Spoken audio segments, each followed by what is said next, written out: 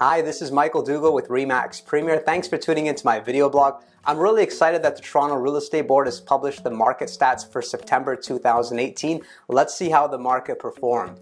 The average price went up from August to September by 4%, and on a year by year basis, so comparing September 2017 to 2018, the average price went up by 2.9%.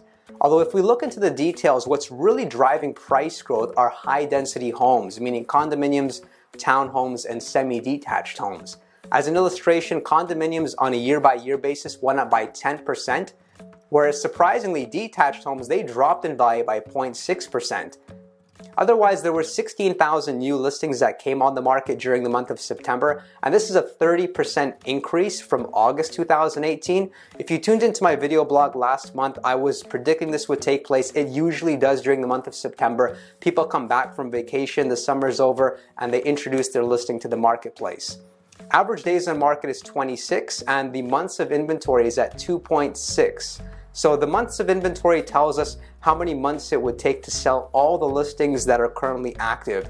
And just to give us some perspective, two years ago in September 2016, the months of inventory was only 1.3.